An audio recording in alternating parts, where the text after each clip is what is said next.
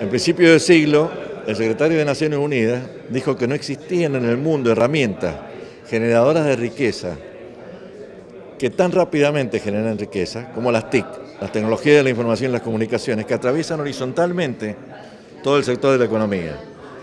Y todo eso está basado en el conocimiento, que ha pasado a ser más importante, ha pasado a ocupar el primer lugar, desplazando inclusive al capital financiero. El conocimiento ha sido lo más importante. Tal es así que los países que no han tenido la, dicha, como nosotros, de tener una gran cantidad de recursos naturales, igual han podido transformarse en países desarrollados. Ejemplo, Finlandia, y hay muchos más. Si la Argentina no es capaz de aprovechar este salto al futuro que hay en este momento, estamos fritos. Porque hay un tren que viene de alta velocidad y si no somos capaces de tomarlo a tiempo, vamos a perder una oportunidad única en nuestros 200 años de historia que es apostar al conocimiento. Además tenemos la suerte, además tenemos una gran cantidad de recursos naturales. Pero si seguimos basándonos solamente en la agricultura, estamos omitiendo algo muy importante.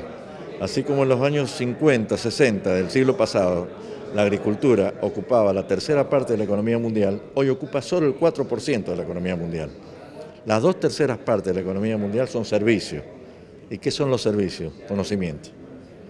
Así que ese es el mensaje que yo creo que hay que tener claro y hay que aprovecharlo. Por eso esto está muy bien. Y, todo lo que está haciendo el Ministerio de Producción en ese sentido me parece sumamente acertado.